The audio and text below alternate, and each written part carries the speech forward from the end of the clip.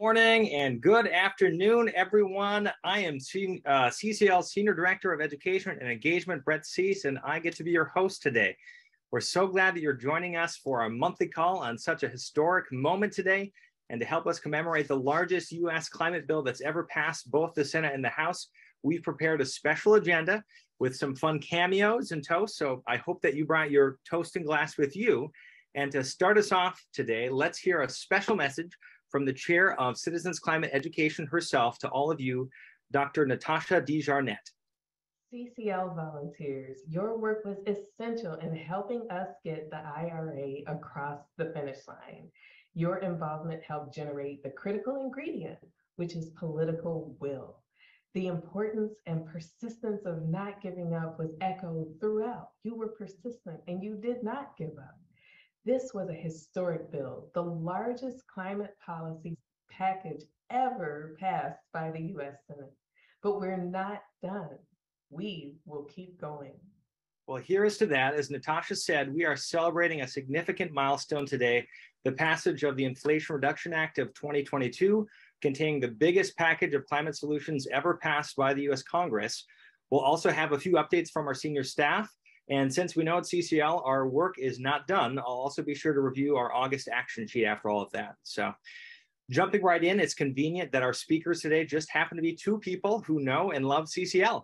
And in fact, they're both board members. We have joining us today Bob Inglis, a former member of Congress serving as a Republican from South Carolina's 4th Congressional District from 1993 to 1999, and again from 2005 to 2011. Bob has been working tirelessly to move his party towards climate action through the organization he founded and that many of us are a part of, republicEn, a grassroots community building effort that provides educational support for conservatives committed to building public understanding of free enterprise and its promise to solve energy and climate challenges. And also joining us today is the amazing Princella Talley. Princella is a Public Voices Fellow of the Yale Program on Climate Change Communication and a writing coach with the Op Ed Project whose writing has been featured in numerous publications throughout the country. Princella also worked previously for a Citizens Climate Education as our development coordinator and diversity outreach coordinator and is a dear personal friend. So I've got three questions that I want to make sure to get your thoughts on, Bob and Princella. And then if there's time, we'll open it up to one or two questions from the audience. So for all of those of you tuning in, make sure to start putting in anything you'd like to ask Princella or Bob in the Q&A box. And I'll ask one of you for your thoughts on that question. And then before we move on to the next question, we'll make sure to get the others' thoughts as well. That sounds good. So let's start with the basics, and we'll start with you, Princella, if that's all right. Uh, would you each tell us just a little bit more about yourself than I just did, and include in that what you are personally pleased about at this moment in the climate movement? Hello, hello, CCL. Well, I am Princella Talley. I'm here in Pineville, Louisiana with three dogs, two of which are puppies so if you hear any disruptions, that is what the noise is. And I currently work as a fellow at large at the Op-Ed Project, as Brett mentioned. And in short, that includes fellowship coaching, mentoring to help fellows get uh, published op-eds. And one area where I do currently coach is on the climate crisis. So I've been a part of CCL since 2016, and I'm now on the governing board alongside Bob. And outside of that, I'm a speaker who enjoys speaking most about impactful creativity. So, how do you access impactful creativity within yourself? How do you think outside the box in ways that make you a more well rounded individual who can help people see themselves not just as everyday citizens, but really as big players in a world that, even when you're doing everyday things, the odds of us being born and being here together now is like what one in 400 trillion so based on that alone the most everyday person is so extraordinary and i like to speak to that and what I'm pleased about in this movement is how it's not just science and policies anymore. It's about the human experience. And I see that most in a lot of the materials I read and interviews and books. I finally read the book All That We Can Save, uh, Katharine Wilkinson and Ayana Elizabeth Johnson's book. And it just blew me away. I mean, with the humanity and the way it called to action through human experience. And that'd be my answer there. Did I miss anything, Brett? That sounds amazing. Thank you. I'm so grateful just to get a little bit more of a window in, Princella. And Bob, how about you? Wow, it's great to be with you. And, uh, you know, so uh, I'm this guy that uh, spent six years uh, disputing or really not paying attention to climate change in the US Congress, and then out six years, came back for another six with a different affect because of uh, my son and four daughters, um, a trip to Antarctica, and then being inspired by the faith of an Aussie climate scientist who uh, uh, challenged me to look closer. And so um, that turned me into a guy that was uh, real hepped up on solving climate, um, which was not good in a Republican primary situation. Um, but uh, after, after getting tossed out of Congress in 2010, I've been uh, working, as you said, Brett, with uh, republicen.org. So we're conservatives who care about climate change and who are trying to help conservatives to overcome the world's most undeserved inferiority complex. Apparently, conservatives think they're no good on energy and climate. And so when the topic came up in the previous years, they'd sort of shrink in science denial. Now they're sort of saying, well, but how do we get China in? And so what we want to help them to see is, oh no, there are ways, there are ways to get China in. And um, so, um, and at this moment, what I'm uh, very excited about, this call is well timed because of the passage of the uh, Inflation Reduction Act um, in a process that no Republican could vote for because it's reconciliation. And reconciliation is a process that basically is used by a fragile majority to cram down the throats of a minority its views. Uh, we did it as Republicans. Uh, Democrats have done it just recently. Um, it's sort of the way it is. Um, it's a tool. It's not a great tool but it worked in this case to get some climate provisions. Here's the thing that's exciting to me at this point, though, is I think that it'll show the importance of a worldwide solution. This Inflation Reduction Act is going to help us here in America with a whole bunch of clean energy credits uh, that basically affect the tax uh, taxes of American corporations. But I think the good news for those of us uh, that want a worldwide solution, that's of course everyone in CCL, um, there's going to be a need to, to focus on the next. And the next really involves carbon pricing and a carbon border adjustment mechanism. So that's what I'm excited about.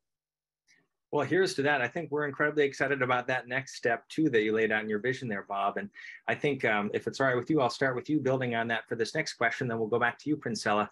As you know, at CCL, we like to reach for everyone. And that means we have to keep reminding ourselves that people can view the same event very differently sometimes. And so, with regard to the Energy or the Inflation Reduction Act, rather, I think it's important to acknowledge that it's an imperfect bill passed through a compromise process. And yet, given this, it's what we have. And what do you think the people you work with like and dislike about it? And it's helpful for us to keep in mind. Well, I think what's interesting is once the the sting of reconciliation is over, I think we'll find Republicans not really criticizing the the energy provisions in the Inflation Reduction Act. Um, because it's got a lot of things that Republicans would probably want to do. Um, um, expanded credits for wind and solar, uh, new credits for hydrogen and nuclear. Um, those are things that have a constituency on the right. Um, and so in places like Texas and Iowa, um, you'll find Republicans in the next 18 months to two years probably sort of celebrating those things that are happening in wind and solar and and uh, hopefully in nuclear and hopefully in, in uh, hydrogen. And so um, it, it's sort of like the way I've described reconciliation. It'd be sort of like this: your employer coming in and dropping a contract on your desk and saying, "Take it or leave it." Um, that's what reconciliation is. Um, it's not a very nice way to be uh, offered your next contract, but after you get over the sting of that, if the contract is okay, in other words, you're getting paid what you want to get paid, wasn't a very polite way to do it, but uh, you'll probably be happy uh, and, and uh, after a number of months. That's where we'll be, I think, on the Republican side. Yeah, I really appreciate that perspective, especially both on the policy, but also the process itself. What would you say, Princella, to that same question, especially keeping in mind what do we think the people that you work with like and dislike about the Inflation Reduction Act? So the folks that I'm speaking with, they're happy with the push towards the renewable energy and clean energy sources because, you know, where there's less emissions, there's less pollution in their neighborhoods. But at the same time, there's a rightful concern that's still out there about some of the clean energy resources still ending up inaccessible in the same neighborhoods that are most impacted. So the question is, are these tax credits going to result in more solar, et cetera, in these very same neighborhoods? And it's an important question to think about. And, you know, with this being a 10 year plan, it's already been raised that less than 1% of that non defense discretionary budget is going to go towards environmental justice investments. So it's still something where, as you said, Brett, we have to acknowledge that it's imperfect, but keep the conversation open well, I think this is a great forum to really start exploring and unpacking all of that. And I guess just building on that for you, Princella, we'll take this question for everyone, uh, ask Princella and Bob, and then we'll go to Q&A. Um, given all of your reflections, what is your advice about how we as CCL volunteers can best engage with or communicate with the people that you work with about the Inflation Act or the Inflation Reduction Act or climate policy in general? Is that going to Bob or me first? We'll, we'll pass it to you if that's all right first, Princella. Sounds good. I mean, to me, being optimistic about it, targeting billions of dollars towards environmental justice, that's incredible progress. And it signals hope for even more progress to come. So, yes, we have to bring up the sore spots that when a bill is passed as law, environmental justice can be left behind, and all of the empty promises that pulled in the support from these communities it's gone now and then you're left with nothing when the bill passes. So when we're communicating about that i think it's a great great time to talk to people outside of the ccl solutions framework. And the best way to do that is be authentic. I mean do your research. You can have your talking points based on the matter but above all else be human. I mean because no group is a monolith. So you'll have people who will find this bill problematic. You'll have people who think it's great and, and have no worries about it. But when you do face that opposition, know that it's making us all better because it's helping us to all think in new ways. And if we're open enough to receive the feedback, these conversations become easier than we think. Because at the end of the day, we're not a set of policies, we're a world of multidimensional people. I love that. That is so powerful. And I think that is ringing true to all of us listening in, Princella. What would you say, Bob, to that same question? Well, I think the thing to do is um, eh, back to that uh, analogy of of the contract being dropped on your desk and uh, told that uh, take it or leave it. Um, you probably don't want to be in the if that happened to you you wouldn't want your colleague next door in the next door office to say yeah they got you didn't they? They told you what's what. Um, you want to do that. You'd want to just uh, approach Republicans with the awareness that they're they're going to be sore about that a little bit. And so, if you're talking to Republicans, um, eh, just uh, be talking about the next steps, and then um, gently celebrate the successes in the Inflation Reduction Act, um, and and talk about uh, the strength really of CCL, which is the worldwide um, carbon border adjustment mechanism. That is the that's the missing piece, um, and I think that we will find Republicans very open to that. We already see some openness there. People like Senator Cramer uh, of North Dakota and uh, Senator Cassidy of Louisiana are talking about a carbon tariff bill. Might have some challenges with the World Trade Organization there, but there are ways that that can start the conversation that overcomes the current mental block on the right, which is how you get China in on this. Um, and so, so in other words, um, probably not best to spike the football in the end zone. Probably best to uh, humbly, uh, you know, walk uh, back toward uh, the, the the line of scrimmage rather than spiking the ball. So. Um, uh, and and uh, and and realize that um, that uh, now comes the real strength of CCL is coming forward with that worldwide solution. Well, we are incredibly excited about that opportunity too. I know in our June lobby days, that was one of our primary asks that we are focused, especially in a lot of offices on the conservative side, to talking about. So uh, we look forward to continuing to build and highlight that solution for that carbon border adjustment mechanism. Um, if it's all right with both of you, let's go to the phones for a little bit. Flannery, I know that you've been monitoring our Q&A and we've got time at least for one, if not two questions. Um, what's emerging that you see from the attendees? Yes, indeed. All right. So our most upvoted question is from Mike, and they ask, I'm optimistic that the CBAM idea, which stands for Carbon Border Adjustment Mechanism, uh, as expressed in the bill recently introduced by Senator Whitehouse, uh, and there's been lots of discussion in Congress about CBAMs, um, uh, he says, I'm optimistic that it will garner bipartisan support since it should help US industry be more competitive globally. Um, and they're asking if you have any thoughts, uh, specifically, Bob, but we can open it up uh, in general. Yeah, well, I would say, yeah, exactly. That is that. That's what's exciting. Is it you see as you, I mean, the, these Republicans are generally for tax credits, right? I mean, uh, you give a Republican the opportunity to reduce taxes, um, that's what credits do. They basically reduce taxes. Uh, you can do you can either reduce rates or you can reduce uh, uh, you, or you can implement credits, exemptions, or deductions. Um, a same a different path to the same outcome.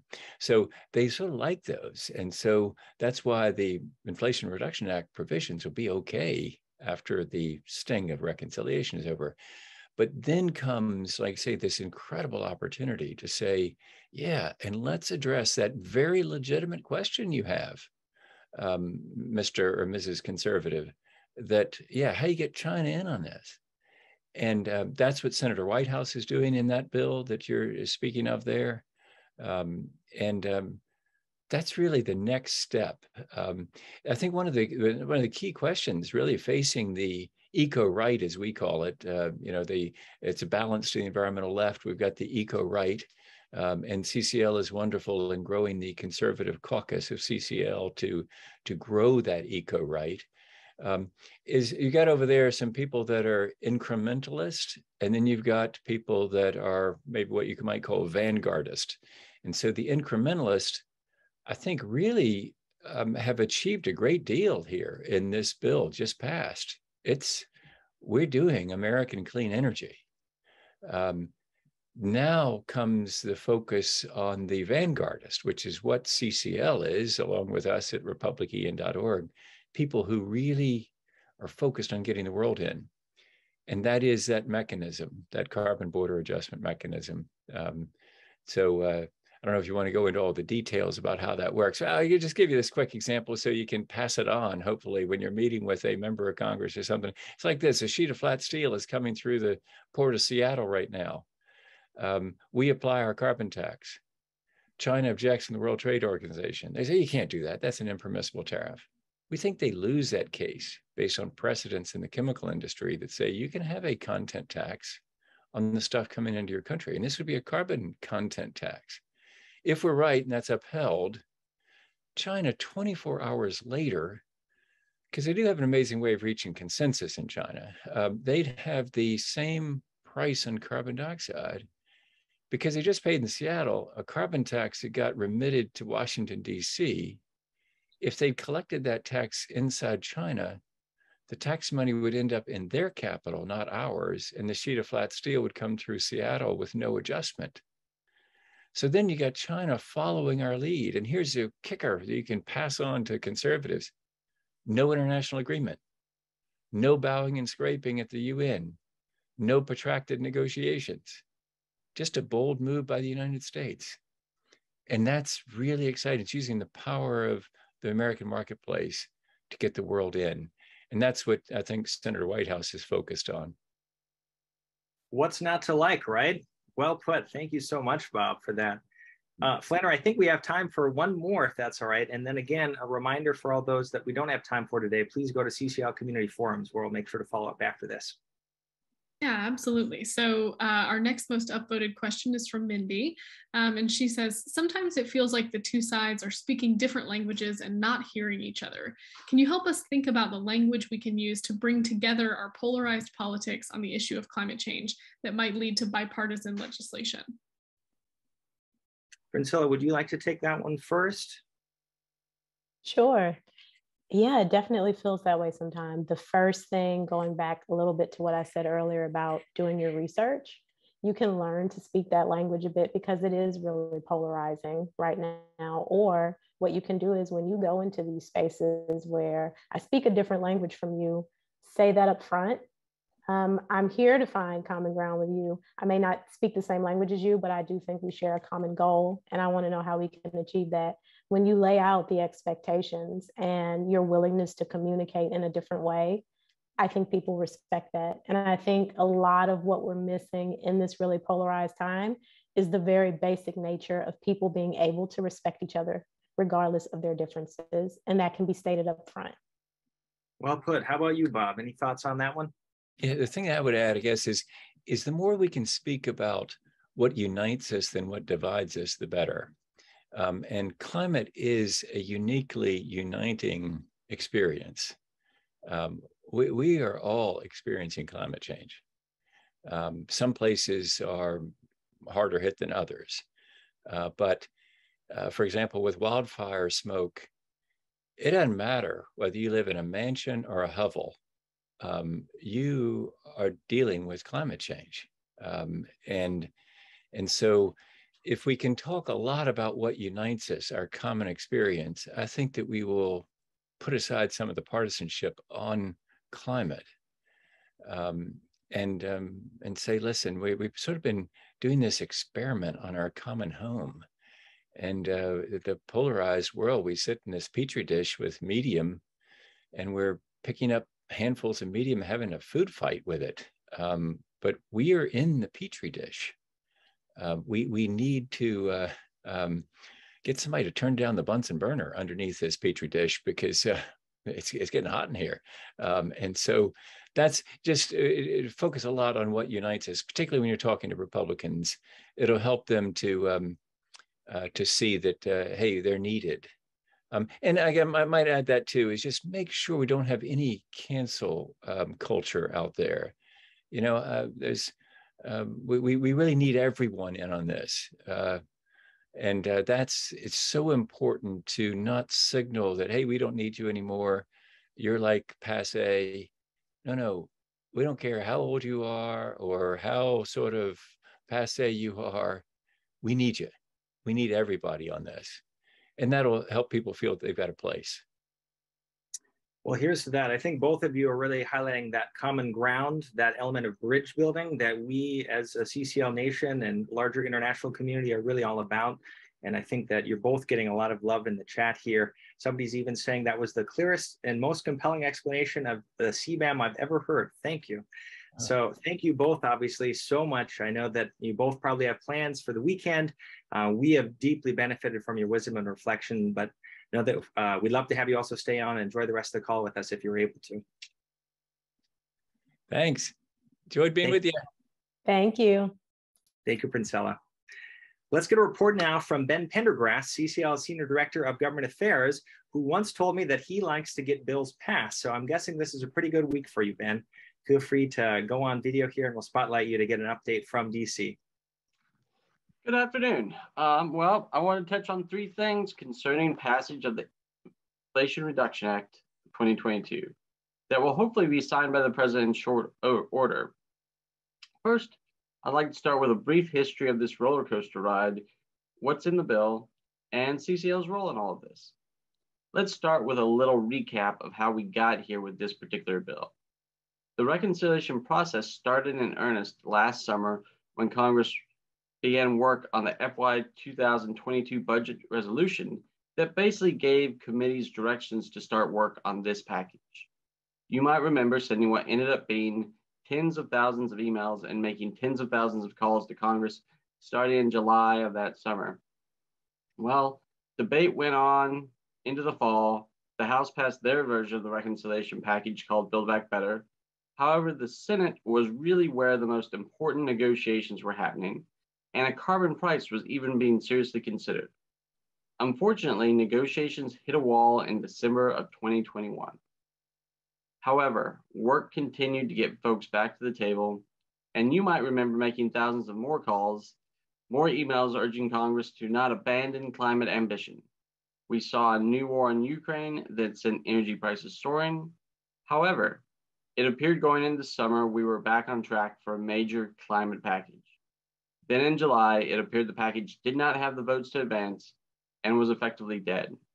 Less than three weeks ago, almost everyone was surprised and happy to learn an agreement had been reached on the most important climate package ever. And as of yesterday, both chambers of Congress had passed it. One final note on the path of this bill, and Bob spoke to this. It's unfortunate, but we always knew this would be a partisan bill. Beginning in the 1990s, reconciliation has been used as a vehicle to overcome a potential filibuster from the party in the minority. And even if certain policies might have bipartisan support, the package as a whole we knew would only ever receive votes from Democrats. And even that was something of a heavy lift. Well, let's move over to what is exactly in the IRA. First, and most importantly, clean energy tax credits for any type of carbon free energy. This is the biggest driver of emissions reductions in the bill. There's new tax credits for EVs. And perhaps one of the bigger surprises, if you remember back in June, Senator Whitehouse, when he spoke to us, thought this provision was most likely to fall out of the bill. The bill would provide $60 billion in tax credits to boost domestic clean manufacturing. It includes 60 billion for environmental justice, sending new investments to communities long exposed to greater levels of pollution. Very happily, it includes a methane fee.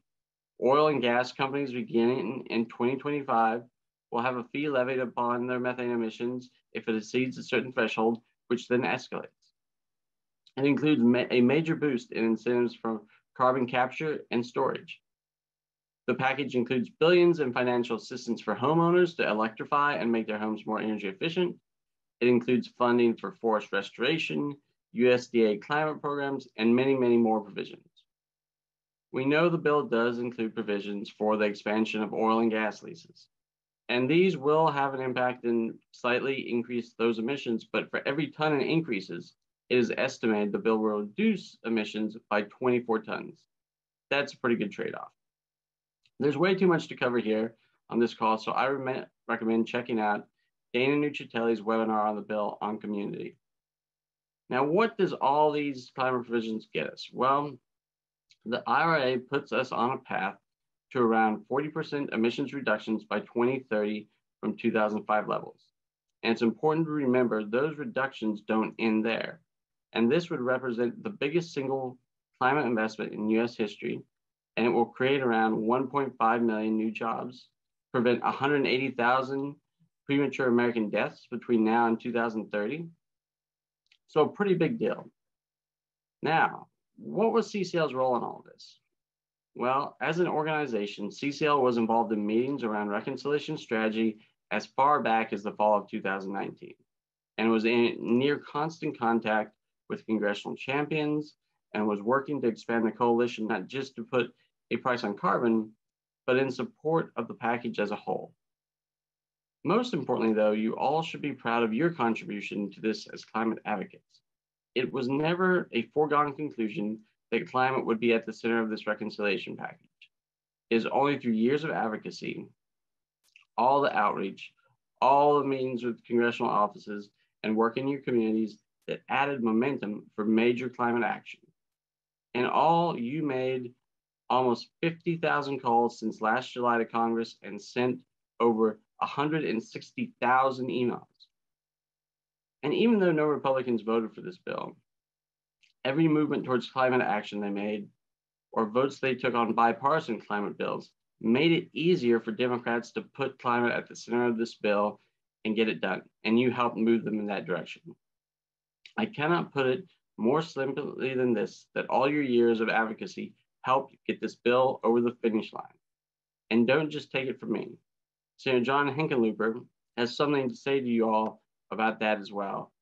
Thank you, Citizens Climate Lobby. You guys have been terrific all the way through to get to the Inflation Reduction Act, uh, the largest climate initiative in the history of the world. We couldn't have done without you, with all your support, the phone calls, the emails, everything. Sky would still be waiting for a climate initiative that will change the world, the largest climate initiative ever. Thank you so much for all your hard work. All right. Well, thank you, Ben, and congratulations, obviously, to our whole team And to put all of that into context and continue our tradition of sharing some toasts, CCL's executive director and Fear of the Cedar for our first 13 years, Mark Reynolds, sent us this toast to play for all of you. So I'll let Mark uh, share his toast from here. My toast to you is this thank you for the, being the kind of people that are willing to tackle the impossible. Here's to you. All right. Well, here's to the people who are willing to tackle the impossible. Besides all of the calls and emails that Ben noted, your summer lobbying also resulted in 35 new co-sponsors on the supporting bills that we asked you to lobby on.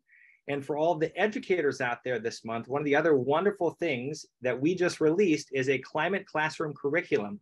So if you'd like to get involved with your local school, check that link out that I just put in the chat that our larger youth action team and Sharon Begatel headed up for you to use locally. Uh, the good people of Canada are also now receiving quarterly dividend checks in the good news department. They're officially called climate action incentive payments from their country's carbon fee. So it's been a wonderful month. And what I'd like us to do now is transition to briefly talk about this month's August action sheet, which we'll also put in the chat to reference as we walk through it later today. So overall, our overarching goal for these monthly actions is to help members of Congress develop an appetite for more and more climate legislation. So first off, what I'd like everyone to do is go to cclusa.org forward slash action to thank your Democratic members for their vote. We want them to be acknowledged and appreciated when they take steps forward on climate change solutions.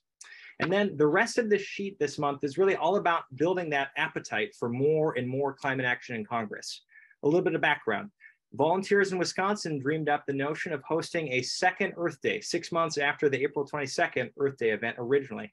So it's such a good idea that CCL is starting to roll that out nationally with this month's action. It's the first one. It's called Start Planning an October Earth Day Election Edition event.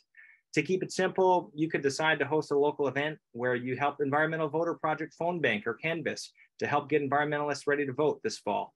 Or you might dust off and replicate an amazing Earth Day or outreach event you hosted a few years ago, again here this fall. Our goal organizationally is that events all across the country help center climate change as a top issue for voters. And to help make all of that possible and stitched together, our marketing and program teams will be providing you on the local level with logos, with resources, a social media packet towards that goal. And one of the things that you can tune into to find out more is the August 25th CCU for that launch and more details. And we'll also put that in the chat in just a bit. Our second action this month is focused on engaging your community on candidates and voting. And it's aimed at CCL tabling and presenting with a call to action to vote. We also have a recommended social media bonus action, posting a photo of your chapter getting out the climate vote at those events you're hosting. And we have a new chapter development bonus action, submitting a human interest story to attract new members to your chapter. And conveniently enough, our communication exercise this month builds on that theme that you heard today and what we learned about from Princella and Bob, all about practicing talking about the Inflation Reduction Act. So lastly, speaking of the Inflation Reduction Act, we'd like to actually personally invite you to a watch party. We think it would be wonderful to be together to watch President Biden sign the Inflation Reduction Act. And in that moment of history, we can remember being there together. So we're going to stream it on one of CCL's Zoom lines and enjoy some IRA trivia, dancing, meaningful conversation. We'll have a whole host of breakout rooms open for you to partake in. Now, here's the catch. The White House still hasn't announced yet when that bill signing is going to take place, but we do know that it's going to take place sometime in the next week. And so we'll make sure to email an invitation to all active CCLers as soon as we know when it's going to take place. Everyone's going to be invited. And if you want to RSVP to that current placeholder event on CCL community, I'll put that in the chat right now. You're more than welcome to RSVP yes, and we'll update it with the correct information as soon as we know. And also know this, if you can't make it on short notice, we'll be sure to record it and you can use that same link I just dropped in the chat so you can use it as you wish for your own partying later. I do hope that your chapter, a state, or region comes together to savor this milestone. And with that, what I'd love to do actually is invite CCL Senior Director of Development, Lene Pettengill, to share an important update with us as well. So welcome, Lene. Hello, everyone. It's so good to be with you today and to celebrate this epic climate win together because no one gets how big this moment is like you do. As our development director, I'm focused on the money, which makes this work all possible. Even though it is you, the volunteers, who make this happen with your audacious strategic actions, the training and support programs for all you superstars is what we need to raise money for. This year, those programs make up a combined CCL CCE cash budget of $8.6 million. We're making steady progress towards that goal, but we need your help to get there. You might have seen the blog post our executive director, Madeleine Para, recently wrote about the stretch gift that she and her husband, Glenn, just made a climate guardian gift of $10,000. I'm on our call today to ask a favor. If your financial situation is such that you could possibly join Madeleine and Glenn with a climate guardian gift of $10,000 or more, or you personally know someone who could, I ask that you contact our development team. You can do that by emailing us at development at citizensclimate.org or by calling the home office. We're working to recruit 10 new Climate Guardian donors by the end of this month. So I'm really hoping some of you will reach out right away. So let's all keep having fun with our celebrations of this awesome, incredible moment that you helped create. You just made history. Thank you so much.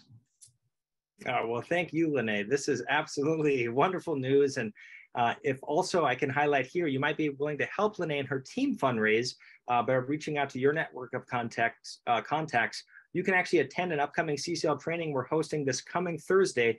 I've just put that link in the chat. It's 8 p.m. Eastern time. We'd love to have you be there to learn how you can also enjoy and engage in that recruitment process for major donors. So there should be some fun with that crew too. All right, so I have two short videos to share with you to end our time to get today. It's good to recall our roots and the years of persistent work that has led to this week's milestone in both the Senate and the House. CCL, for those of you that know or are now being educated on our history, was founded in 2006 by a remarkable man from Waco, Texas, named Marshall Saunders. I have a photo of Marshall on my wall that I get to look at every day as I do my work with CCL, and it helps me feel centered in Marshall's vision for an organization like CCL and being the change that we wish to see in the world. And his amazing wife and widow, Pam Saunders, has a toast to offer us. And then following that, Ellie Sparks has a kind of love story to tell you about one of you. I remember from one of Marshall's speeches at conference that he said to the volunteers, I see you as the world's best hope. Like, no kidding. You are the world's best hope.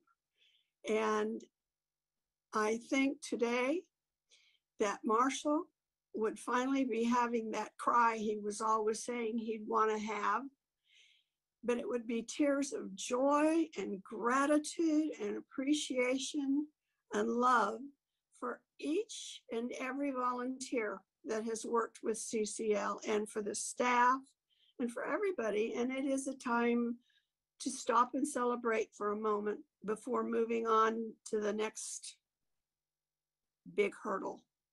And I know the volunteers are up to it because they're committed and they're strong and they're and they're not going to give up and that's that's what marshall loved so much about them so i say Thank you, volunteers. Thank you for never giving up. Thank you for making the dream come true. And uh, Marshall loves you and I love you. So thank you. Well, thank you, Pam. You and Marshall have made this dream possible for all of us. So we toast to you today as well. And what we'd like to close on is a video from Ellie Sparks, our Director of Field Development, she wrote and shared a story about one of our volunteers, Jim Probst of West Virginia. You might have been paying attention to West Virginia lately. And the thing about this is that this story seems to be about one man. It's really a story about all of you and who we have become together. It just seems fitting at this time when the good people of West Virginia have had so much attention focused on their senator that Ellie gets the chance to tell her story of Jim. And now I'm sure Jim would have told it differently, but this is Ellie's story as she lived it. So I'll let her take it from here. So back in the old days, before regional coordinators and IT departments at CCL, after I led the intro call on a conference call line with no video, I reviewed the list of attendees and contacted people who lived in cities where we didn't have chapters yet. Nine years ago, West Virginian Jim Probst landed on that call. I reached out first thing the next morning, eager to have someone from the mountain state. Having just completed the Climate Reality Project Presenters Program, Jim couldn't imagine talking to West Virginians about climate change. He hesitated when I asked him to start a CCL chapter. My gentle persistence convinced him to attend our first regional conference in Atlanta. He drove down from West Virginia, getting lost on the way and cursing me as he tried to find the right roads back to the main highway. He landed at the hotel late, where he met Danny and Mark in the bar. And the next day, Bob Inglis and 60 or so other CCLers from the Southeast. By the end of the weekend, Jim decided CCL was for him. In the closing hour, Jim asked to sing a song about nature and his grandchildren, which he accompanied with an Appalachian instrument called a dulcimer that he had built himself. Jim went home to Charleston, and I followed two months later to lead the workshop that launched his chapter. Even with a chapter backing him, Jim felt overwhelmed in West Virginia. So Joe Robertson and I met with him every other week on a call that eventually became the Coal Country Action Team. In a way, Jim was the boxer in the boxing ring, and Joe and I were the coaches. Jim would come battered and beaten into the corner. We would remove his plastic teeth, give him a drink of water, massage his shoulders, and send him back out into the ring for another round. We simply reminded him of the core CCL values and approach and told him those would work everywhere and anywhere, even in West Virginia. Jim went to his first national conference that June. Empowered by conference and lobby day, Jim committed to bringing a team from West Virginia the next year. I remember seeing our West Virginia volunteers walk into the lobby day reception at the Omni with Jim. I could see tumbleweeds rolling past them in the wind, and I could hear that lonesome cowboy music and sense their horses tied to the post behind them. They walked in like they owned the place, and they really did. Since that year, our West Virginia team has met regularly with all five congressional offices, including face to face meetings with Manchin, averaging eight meetings a year with members of the West Virginia delegation. Two years into their work, and after they met in person with Manchin a time or two, our volunteers attended a West Virginia energy forum. Coal, oil, and natural gas made a big showing at the booths, but CCL volunteers were also there tabling. And they weren't sitting behind the table, they were out in front, catching passersby and engaging them on carbon fee and dividend at an energy conference in West Virginia. With empty chairs at their table, another unassociated Energy Forum attendee looking for somewhere to take a call on his cell phone sat down behind the CCL table. Can you see who that is in this photo? Senator Manchin, October 2016, catching a phone call while sitting at a CCL table at a West Virginia energy conference. I want to tell you just a little more about Jim Probst. As he wrestled with how to talk to West Virginia miners about climate, he decided to learn more about their challenges and struggles. He joined efforts to support the Reclaim Act, communicating directly with Danny and our DC team over several years, and eventually seeing the Reclaim Act become our first alternate primary ask bill. Jim also joined the miners fighting for the Black Lung Fund. He rode their bus to DC, attended their lobby meetings, wheeled them in wheelchairs around the Capitol office buildings so they could meet with their members of Congress seeking support of the Black Lung Fund. Jim was in one meeting, towards the end of which Senator Manchin entered saying, What can I do for you? The miners sat quietly, stunned or unsure of how to respond. Jim, well practiced in CCL lobbying, piped up asking the senator to extend and increase the Black Lung Fund. So when Dana reviewed the Inflation Reduction Act last Thursday night and he told us that the Black Lung Fund was part of this bill, I thought back to that meeting Jim attended in DC. Jim lived the CCL value of service well before we defined it as such. And we can see his impact for both people and the planet in the Inflation Reduction Act.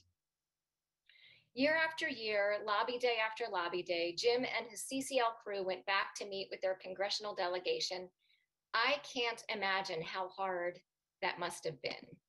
In fact, it exhausted Jim and he misses his grandkids, so he retired from CCL earlier this year.